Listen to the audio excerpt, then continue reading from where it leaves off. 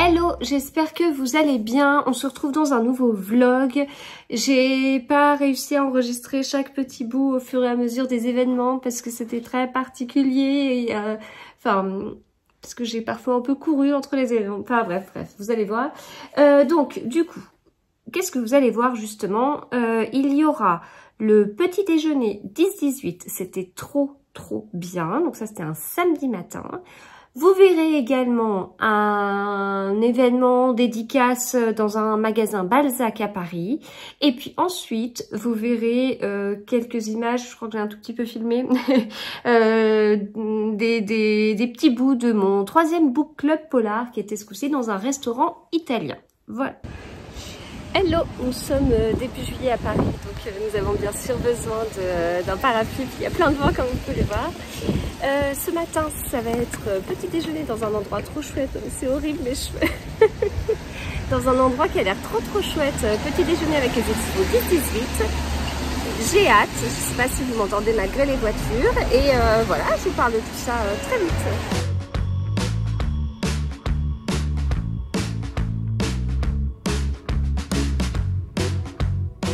Alors, le petit déjeuner 10-18, c'était génial, c'était génial.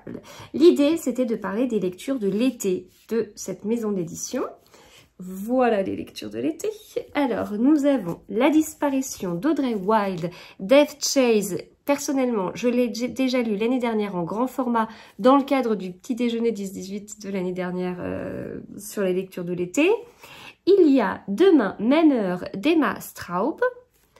Nous avons Super bien Merci de Monica Ezet.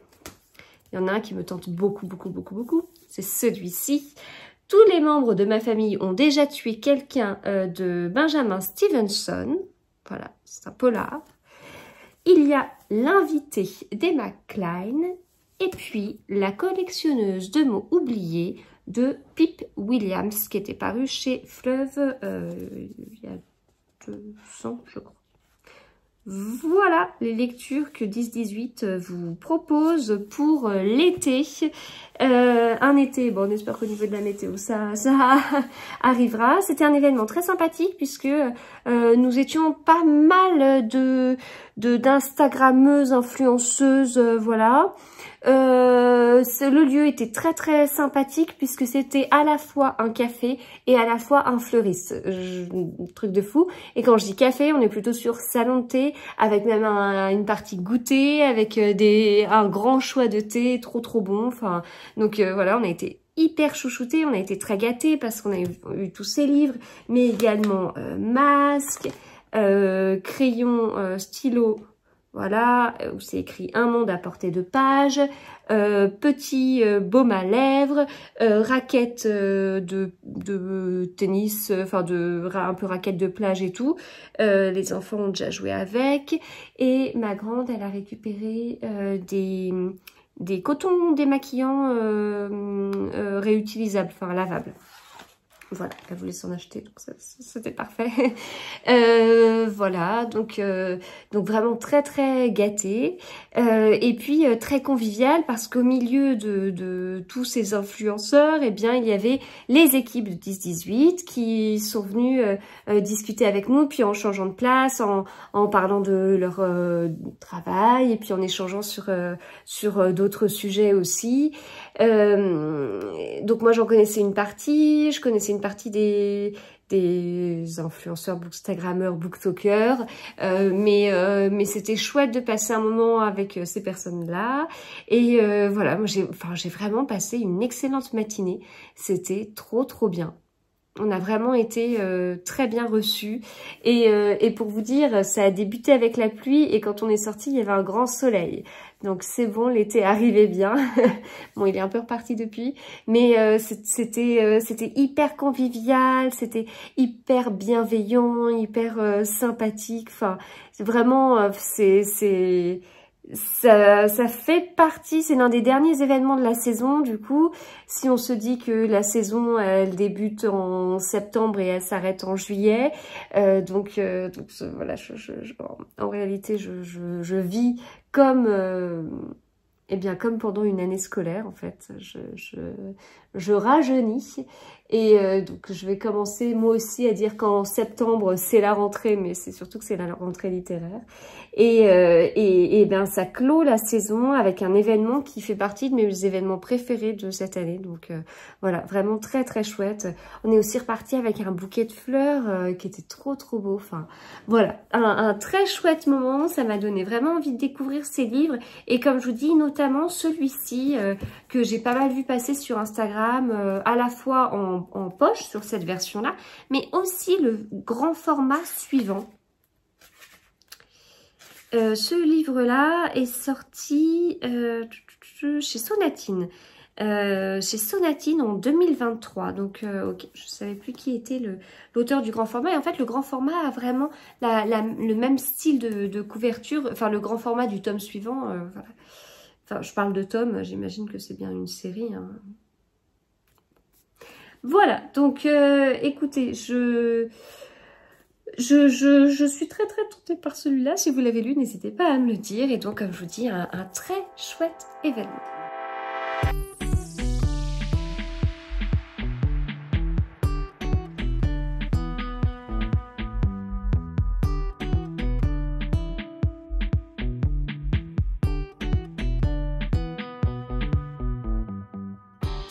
Ensuite, la semaine est passée et puis nous sommes arrivés à jeudi. et jeudi, j'organisais mon dernier book club polar de la saison. Euh, et euh, bon, il y aura... Une petite pause entre le, le, book club polar 3 et le book club polar 4, mais pas une énorme pause non plus. Mais il y avait un autre événement qui me tentait bien à ce moment-là, et en fait, au niveau des horaires, c'était compatible. En fait, ça s'est joué à 5 minutes près. je suis arrivée 5 minutes en retard à mon book club. Euh, il y a un petit peu plus de circulation que ce que je pensais. Euh, voilà, mais bon, c'est pas grave. Euh, donc le, le, premier événement de ce jeudi soir où je suis allée, eh bien c'est un événement littéraire dans une boutique Balzac à Paris. Euh, boutique que je connaissais déjà parce que l'année dernière, il y avait également un événement littéraire là-bas avec Melissa D'Acosta et Zoé Brisby. Et cette année, c'était un événement littéraire avec à nouveau deux autrices de chez Albin Michel. Il s'agissait de Camille Yolène et d'Anne-Gaëlle Huon. Alors Anne-Gaëlle Huon, je la connais bien. Je l'ai vue beaucoup, beaucoup de fois. et euh, j'ai lu tous ses livres. Et alors là, je lui en ai pris un celui-ci, que j'ai bien sûr déjà lu, mais c'est pour ma grande. Donc, je lui ai fait dédicacer. Ma grande est contente. Voilà. Même les méchants rêves d'amour, je pense que c'est... Je pense que ça peut lui plaire. Voilà. Donc, je, je verrai bien, mais euh, elle était contente en tout cas parce que... Euh, enfin, ma grande, quand je lui en ai parlé, parce qu'en fait, on voulait prendre ce livre à Vannes. Et, euh, et à Vannes, les poches sont parties très très vite en fait. Et quand on est arrivé sur le stand d'Anne-Gaëlle, il n'y en avait plus. Et donc je me suis dit bah, que ça allait être l'occasion. Et je n'avais pas le livre de Camille Yolène, euh, qui euh, qu'on en, enfin on entend vraiment beaucoup parler de ce livre-là. J'aime et, euh, et bah du coup ça m'intrigue. ça va être dans le monde de l'influence et, et voilà. C'est un livre assez court puisqu'il fait 170 pages. il est écrit assez gros. Il y a quelques pages blanches. Non, c'est pas vraiment des pages blanches, c'est juste les sauts de pages. Une dédicace incroyable. Je sais pas si vous voyez. Euh, hop. Je pas voir si vous voyez bien.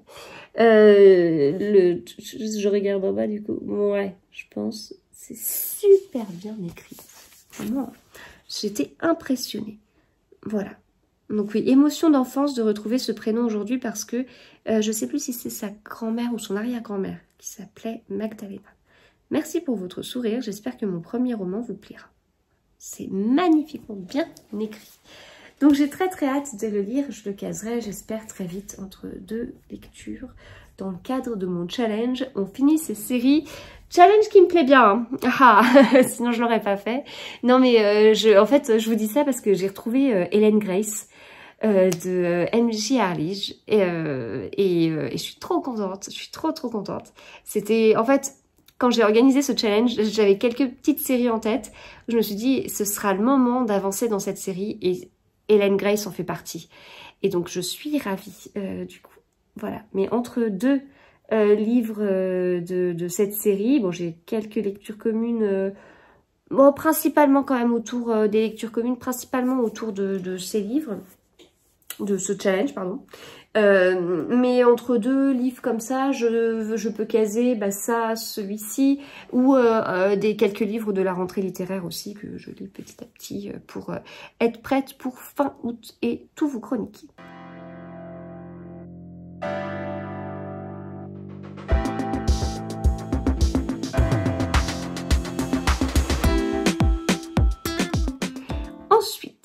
j'ai donc pris ma voiture pour, euh, je crois, euh, même pas 3 km.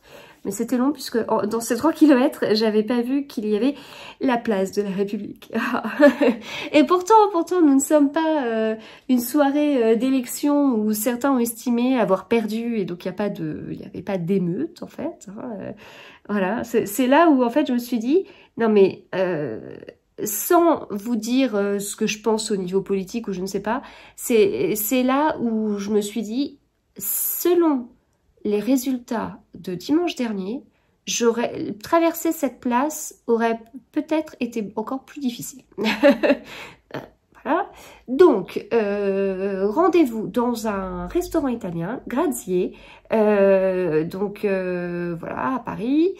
Et pourquoi ce restaurant? Parce que j'avais hum, eu une soirée de lancement de Julien Sandrel pour euh, Merci Grazier, Thank You euh, quand il était sorti chez Livre de Poche et j'avais trouvé les pizzas vraiment bonnes. Donc j'avais très envie d'y retourner.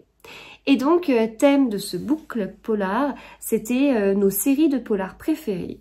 Et du coup, c'était hyper intéressant. Alors, c'est vrai que c'est le thème et tout, mais en fait, honnêtement, il n'y aurait pas eu de livre, il n'y aurait pas eu de thème, on aurait parler, pas que polar, mais on aurait parlé euh, beaucoup de plein d'autres choses. C'était, euh, moi j'ai passé un, très bon moment et je vous dis pas ça parce que je l'organise, euh, je vous dis ça parce que ça, c'est grâce aux participants. Enfin, en fait, je peux très bien organiser un événement comme ça, un book club, et puis les participants pourraient ne pas parler. Et alors, qu'est-ce que ce serait pénible? Et là, c'était c'était joyeux, c'était agréable voilà, j'ai passé un bon moment. Il y a des, des, personnes que je retrouvais, il y en a que dont j'ai fait la connaissance. Euh, et, euh, et puis, euh, en partageant comme ça sur les séries, ça m'a permis aussi de découvrir des séries que je connaissais pas. Et donc, j'en ai ajouté dans ma wishlist parce que parce que c'est ça m'a donné vraiment envie de de les découvrir. C'était vraiment convivial, c'était agréable. Enfin, c'était, je sais pas comment comment dire presque naturel en fait, euh, alors qu'on peut pas dire qu'on se côtoie régulièrement. Euh, ça aurait pu, je sais pas, euh, donner l'impression qu'on était un, des retrouvailles de, de, de gens qui se connaissaient depuis un moment. Mais voilà, en fait, on, on se connaît pas forcément depuis longtemps, mais on partage une passion commune et, et du coup, euh, du coup, c'était très chouette. Et puis même euh, le, le, personnel était très sympathique. Enfin, ils sont venus nous voir en disant mais en fait vous êtes un club de lecture, c'est ça? Et puis euh, bah, on est parti tard et ils nous ont dit mais qu'il y avait aucun souci, ils nous mettaient surtout pas à la porte, ils prenaient leur temps. Enfin c'était pour ranger petit à petit, mais il y avait aucun problème. Enfin c'était vraiment. Enfin j'ai j'ai trouvé euh, cet événement presque apaisant, enfin je sais pas comment vous dire, simple, naturel, il n'y avait pas de... Enfin voilà, ça a roulé tout seul, ça, ça, ça a fait du bien, on a discuté, on a rigolé, on a partagé euh, euh, des avis, des anecdotes, des trucs et... sans stress du coup, enfin sans moi de mon côté, je n'étais pas me dire mince, j'ai l'impression qu'il va falloir qu'on y aille ou oh mince, non tout s'est fait naturellement et. Voilà, donc euh, merci aux participants, enfin vraiment pour euh, pour euh, avoir joué le jeu, puis en fait avoir permis ce justement cette bah, cette ambiance quoi. Voilà, le fait que ça ait bien matché comme ça, qu'il y ait eu des, des, bons échanges, et ben c'est enfin j'y suis pour rien en fait. Et, et donc c'est donc je les remercie parce que grâce à eux j'ai passé vraiment un très chouette moment une très chouette soirée. Voilà Donc voilà, c'était euh, la fin de ces événements. Je pense que pour le mois de juillet, ça va être terminé. C'est pas mal, hein. j'ai vécu une très chouette saison littéraire. Et, euh, et j'ai adoré ce que j'ai vécu. C'était vraiment très très bien. très très très bien. Euh, génial, extrêmement bien. je vais pouvoir vous dire 50 000 trucs, c'était trop chouette. Enfin, tout ce que j'ai vécu euh, là sur euh, depuis le mois de septembre dernier, enfin, c'est dingue, c'était trop bien. Voilà, c'était génial. Euh, maintenant, on passe à une autre phase, une phase où il y a un moment donné où tout va être plus calme, où du coup, eh bien, les soirs, je serai chez moi à lire, à avancer mes lectures. Ça va faire du bien aussi. C'est une phase euh, que je, je, vois avec plaisir, que je commence déjà à goûter, hein, parce que l'air de rien, euh, là, cette semaine, j'avais euh, deux événements dans la semaine, et en l'occurrence le même soir, et puis je me suis inscrite à l'un des deux événements 20 minutes avant d'y aller, j'avais pas, j'étais pas sûre de pouvoir le faire, et, et oui, c'était du coup très c'était très bien, mais là, cette période qui commence avec euh, davantage de soirées pour me poser, pour lire et tout, les enfants sont en vacances, ça veut dire qu'ils n'ont plus d'activités extrascolaires. Je ne sais pas si vous imaginez euh, à quel point... Euh, voilà, ça veut dire que les soirs, on mange ensemble. Enfin, c'est vraiment un rythme qui... voilà, même si je travaille, c'est... Et c'est bien aussi, c'est bien, parce que je retrouve des soirées où je lis beaucoup en fait, puis je, je lis vraiment beaucoup, beaucoup, beaucoup, beaucoup, euh, beaucoup plus de pages que ce que je lis habituellement, et je profite parce que euh, je vais pas dire que je suis à jour dans mes services presse, c'est pas vrai.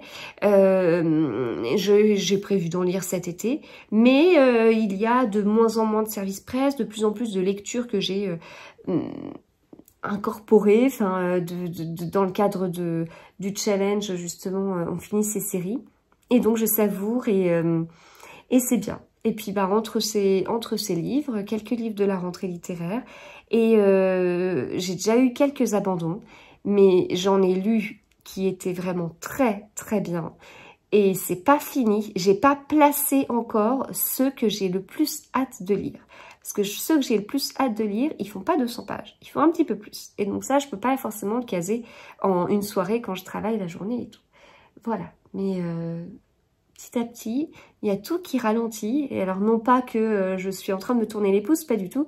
Je, euh, je, remplace juste ça par, par autre chose et puis ça continue, du coup je continue à, à, à être bien chargée. Enfin, et puis, je vous parle de lecture comme ça, mais bon, j'ai d'autres choses aussi en lien avec les réseaux sociaux. J'ai pas mal de partenariats en ce moment, euh, même si on est en juillet, mais j'en ai, pas mal. Euh, puis, j'ai aussi mon travail, etc. Donc, je m'ennuie pas. Mais c'est vrai que euh, je, je, ne redoute pas cette phase sans événement.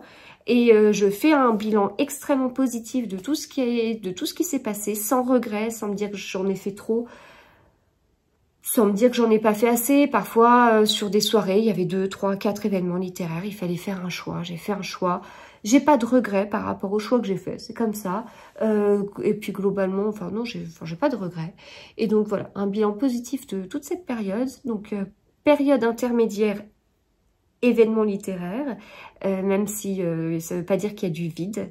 Et puis ensuite, on y retournera euh, avec joie parce que déjà septembre euh, s'annonce pas mal du tout euh, à ce niveau-là. Voilà Comment vous continuez ces vlogs? J'ai une petite idée, en tout cas d'un vlog. ça, ne fera pas cet été en complet, on est d'accord, hein, juste un vlog. Eh bien, j'en ai en, en, tête et puis bah, petit à petit, on verra. De toute façon, il va y avoir aussi les vidéos de la rentrée littéraire qui vont arriver. J'arrête pas de vous en parler dans mes différentes vidéos parce qu'il faut que j'y aille. De toute façon, je pense que juste après, je vais vous enregistrer une petite vidéo de la rentrée littéraire. Voilà. Bien sûr, il y aura toujours les podcasts lecture puisque je continue à lire, lire, lire et lire. Et donc, euh, il y a de la matière pour, euh, pour ça aussi. Et c'est un format que je continue à beaucoup apprécier. Euh, et je lis, comme je vous dis, des livres de la rentrée littéraire et je vous ferai des vidéos dédiées. Pour l'instant, l'année dernière, j'enregistrais au fur et à mesure. Je lisais un livre de la rentrée littéraire, je l'enregistrais dans la foulée et puis après, ça avait donné une vidéo avec plein de petits bouts enfin genre un podcast lecture, sauf que euh, au lieu d'avoir euh, euh, quatre bouts de vidéo enregistrés le jour même où je vous parle d'un livre, bah là l'année dernière c'était c'était pas le même jour, donc j'étais pas forcément habillée pareil, maquillée pareil, je ne sais quoi. là je ne l'ai pas fait. En revanche, j'ai pris des notes. Euh, à la fin de ma lecture, je me suis dit, alors ça, qu'est-ce qui m'a marqué, qu'est-ce qui m'a plu, qu'est-ce que J'ai écrit euh, voilà quelques lignes sur une feuille, euh, sur mon blog où d'habitude je mets les noms des personnages. Voilà, voilà, petite feuille, j'ai détaché la feuille, je l'ai pliée en deux et hop, euh, dans le livre. et comme ça, bah, ça, m'aidera aussi pour rédiger mes chroniques et puis pour vous faire des podcasts de lecture euh, spécialement autour de livres que j'ai lus de la rentrée littéraire. Donc différents des vidéos que je vais vous faire sur les, les présentations de rentrée littéraire de livres que je n'ai pas lus. Mais je vais essayer de vous retransmettre le plus fidèlement possible comment ces livres ont été présentés parce que je ne lirai pas tout. Et euh, peut-être que dans ceux que je n'aurais pas lus, que je ne chroniquerai pas, certains vous plairont. Et donc, ce serait dommage de passer à côté. Voilà. On finit là pour ce vlog. J'espère qu'il vous a plu, puis on se retrouve très vite.